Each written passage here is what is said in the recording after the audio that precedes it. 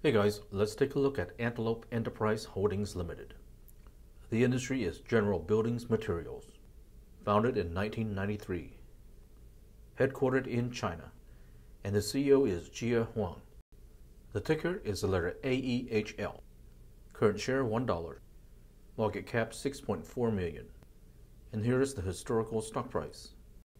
Enjoy learning about stocks just like me? Hit the follow button and we can all learn together.